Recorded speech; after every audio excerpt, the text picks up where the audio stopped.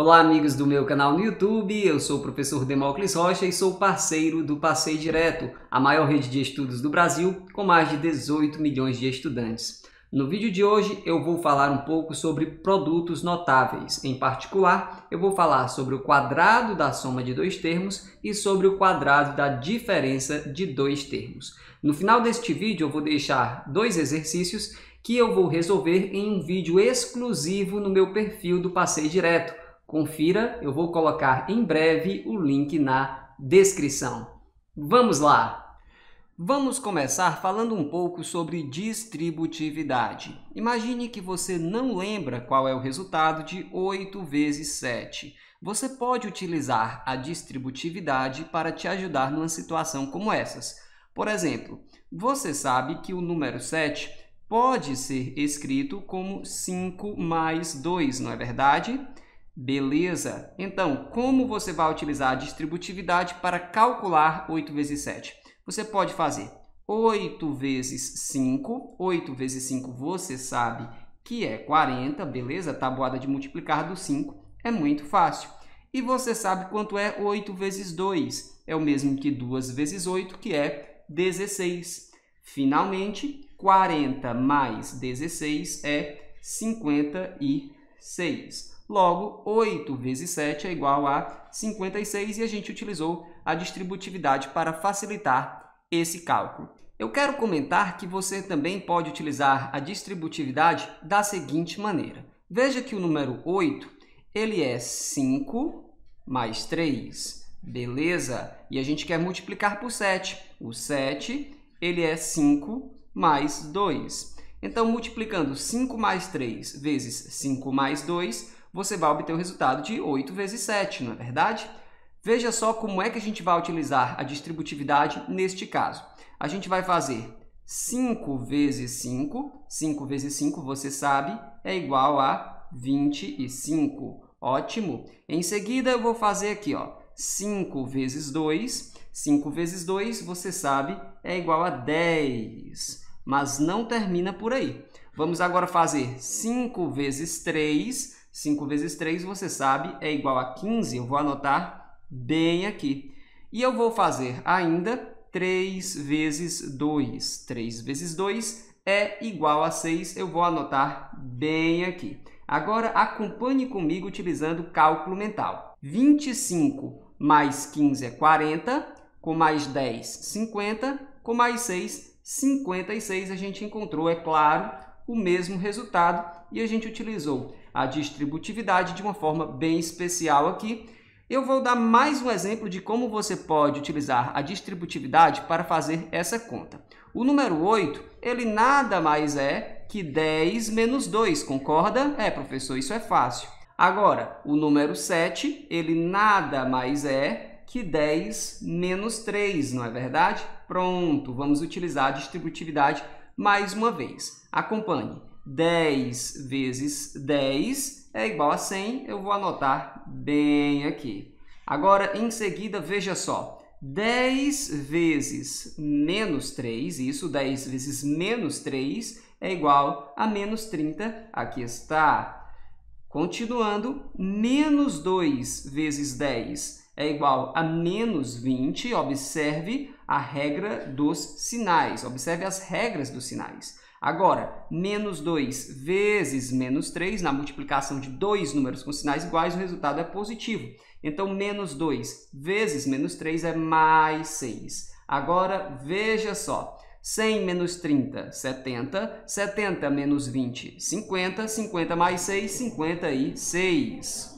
Sendo assim, nós calculamos aqui mais uma vez 8 vezes 7. O resultado, é claro, tinha que ser 56 e eu mostrei para você como você pode utilizar a distributividade de algumas maneiras aqui para obter o mesmo resultado. Vamos agora utilizar a distributividade para o cálculo do valor de algumas expressões algébricas. Acompanhe! Vamos agora mostrar como você pode utilizar a distributividade para calcular o quadrado da soma de dois termos. Vamos representar esses dois termos de maneira genérica por A e B. A sua soma corresponde a A mais B. E o quadrado dessa soma é quando eu pego A mais B assim, entre parênteses, e elevo a 2. Temos aqui o quadrado da soma de dois termos. Você sabe que elevar ao quadrado corresponde a multiplicar um valor por ele mesmo. Então, vamos multiplicar A mais B vezes A mais B. E eu vou utilizar a distributividade como nos exemplos que eu dei anteriormente. Acompanhe. Vamos começar por aqui. A vezes A é o mesmo que A elevado a 2. É o mesmo que A ao quadrado. Em seguida, eu tenho aqui A vezes B. Então, eu vou colocar aqui mais AB. Agora, eu tenho aqui B vezes A. Então, eu vou escrever mais BA. Em seguida, eu ainda tenho, e finalmente, B vezes B. E é o mesmo que B ao quadrado. Agora estamos quase concluindo. Vamos escrever o seguinte. O quadrado da soma de A mais B é igual a A ao quadrado mais... Perceba que a ordem dos fatores não altera o produto. Lembra-se disso? Então, onde eu tenho B vezes A, é o mesmo que eu ter A vezes B. Então, eu tenho AB aqui e AB aqui. Na prática, eu tenho duas vezes AB, que é o mesmo que 2 vezes A vezes B, ok? E, finalmente, eu também tenho B ao quadrado. Ótimo! A gente vai falar assim, o quadrado da soma de dois termos é igual ao quadrado do primeiro termo mais duas vezes o primeiro termo vezes o segundo termo mais o quadrado do segundo termo. A partir do oitavo ano, essa fórmula é muito importante e é bom que você saiba de cor, assim como os resultados da tabuada. Eu vou até repetir. O quadrado da soma de dois termos é igual ao quadrado do primeiro termo mais duas vezes o primeiro termo vezes o segundo termo mais o quadrado do segundo termo. Repita depois de mim. O quadrado da soma de dois termos, isso, é igual ao quadrado do primeiro termo mais duas vezes o primeiro termo vezes o segundo termo mais o quadrado do segundo termo. Você deve ter percebido que em vez de falar o quadrado da soma de A com B, eu falei o quadrado da soma de dois termos, exatamente. Porque na prática nem sempre você vai ter A e B. Você vai ter expressões aqui no lugar do A e no lugar do B. Então eu falo o quadrado da soma de dois termos, não necessariamente A e B. Você vai entender melhor nos exemplos. Essa relação aqui é tão importante que a gente tem até um nome para ela, o quadrado da soma de dois termos. E agora a gente vai ver o quadrado da diferença de dois termos. Acompanhe. A diferença de dois termos é o resultado da subtração desses dois termos. Então, digamos que eu tenho aqui A e B. A diferença pode ser escrita como A menos B. E quando eu elevo ao quadrado desta maneira, eu tenho o quadrado da diferença de dois termos. Como você sabe muito bem, o quadrado de um valor corresponde ao resultado desse valor, no caso a menos b, multiplicado por ele mesmo, então por a menos b de novo.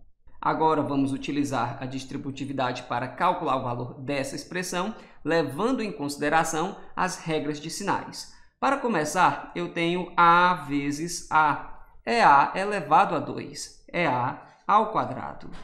Agora, em seguida, eu tenho A vezes menos B. Sinais diferentes, resultado negativo, então eu tenho menos AB. Em seguida, eu tenho menos B vezes A. Sinais diferentes, resultado negativo. Então, menos BA, que eu posso escrever menos AB. A ordem dos fatores não altera o resultado. Em seguida, eu tenho ainda menos b vezes menos b. Sinais iguais, resultado positivo na multiplicação, né? Então, mais b ao quadrado. Vamos agora concluir. Ficamos aqui com a ao quadrado Aqui eu tenho menos AB e aqui também menos AB. Eu posso juntar e escrever menos 2AB. E daqui eu ainda tenho mais B ao quadrado. Essa fórmula é muito importante. É bom que a gente saiba de cor, assim como os resultados da tabuada. Mas veja como é que a gente vai falar para lembrar dessa fórmula. O quadrado da diferença de dois termos é igual ao quadrado do primeiro termo, menos duas vezes o primeiro termo vezes o segundo termo, mais o quadrado do segundo termo.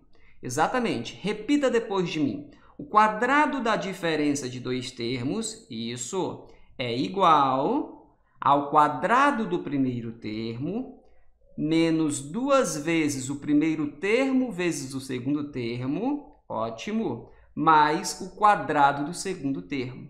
Se você souber essa formulazinha de cor, assim como aquela primeira, isso vai ajudar muito você a partir de agora, ok? É claro que se você souber deduzir a fórmula, você também vai poder aproveitá-la.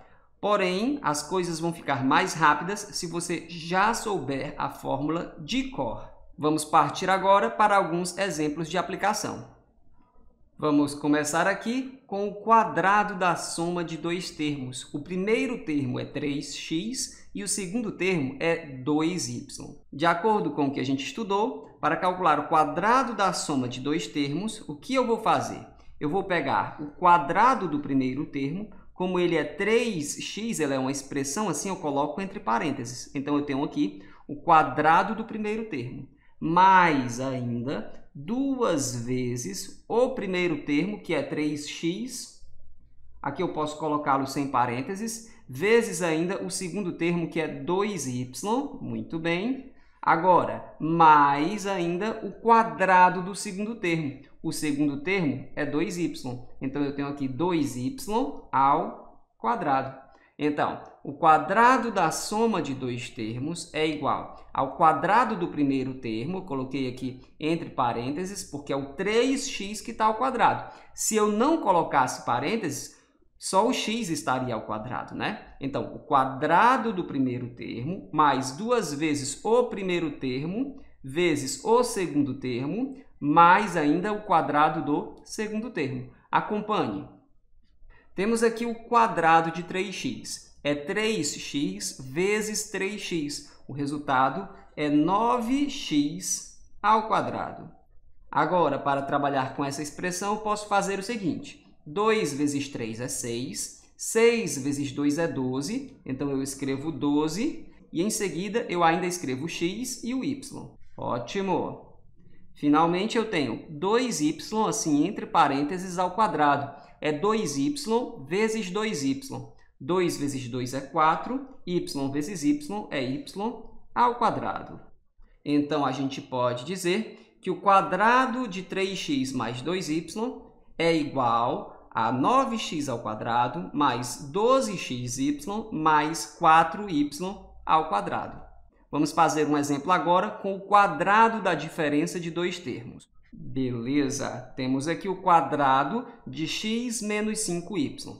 Veja bem como a gente vai fazer isso. O primeiro termo é o x e o segundo termo é o 5y. Você não vai considerar o sinal aqui. O primeiro termo é o x e o segundo termo é o 5y. Então, vamos lá. O quadrado do primeiro termo é x ao quadrado. Lembre-se da fórmula. Menos duas vezes o primeiro termo, que no caso é x, vezes o segundo termo, que no caso é 5y, ok? Mais ainda o quadrado do segundo termo. Como ele é 5y, eu vou precisar de parênteses, tá? Porque senão esse expoente ia valer só para o y, sem os parênteses. Então, é o quadrado de 5y, desse jeitinho aí. Veja só com o que a gente vai ficar. Ficamos aqui com x ao quadrado. Agora, veja só menos 2 vezes 5 é menos 10, eu escrevo aqui na frente. Em seguida, eu escrevo ainda o x e o y. Ótimo! Finalmente, 5y ao quadrado. Bom, 5 vezes 5 é 25 e y vezes y é y ao quadrado. estou dizendo para você que o quadrado de 5y, assim entre parênteses, é 25y ao quadrado. Em outras palavras, o quadrado de x menos 5y é igual a x ao quadrado menos 10xy mais 25y ao quadrado. Então fique bem atento. Quando aqui ó, for mais, você vai ter aqui no meio mais duas vezes o primeiro vezes o segundo. Quando aqui ó, for menos, você vai ter aqui no meio menos duas vezes o primeiro vezes o segundo termo. Quando você estiver calculando o quadrado da diferença de dois termos, você vai olhar o primeiro termo, você vai olhar o segundo termo. No segundo termo, esqueça o sinal, pegue só o valor que você tiver bem aqui, ok? No caso, o segundo termo aqui foi o 5y. Muita gente se confunde nessa parte, então cuidado com isso aí. Vamos escrever mais uma vez. O quadrado da soma de dois termos é igual ao quadrado do primeiro termo mais duas vezes o primeiro termo vezes o segundo termo mais o quadrado do segundo termo. Agora, o quadrado da diferença de dois termos é igual ao quadrado do primeiro termo, menos duas vezes o primeiro termo vezes o segundo termo, mais o quadrado do segundo termo. E aí, será que você já conseguiu entender? Se você conseguiu entender mesmo, está na hora de fazer alguns exercícios. Lembre-se, a prática leva à perfeição. Quanto é o quadrado da soma de 4x com 7y? Qual é o valor do quadrado de 3x menos 8? Eu espero que você seja capaz de realizar estes cálculos, porque esse vídeo foi feito de coração para te ajudar. Se ele ajudou, você pode deixar um comentário com uma carinha sorrindo, você pode compartilhar este vídeo. Se você quiser conferir, eu vou deixar as respostas para esses problemas na descrição deste vídeo. A gente fica por aqui, um abraço e até a próxima. Tchau!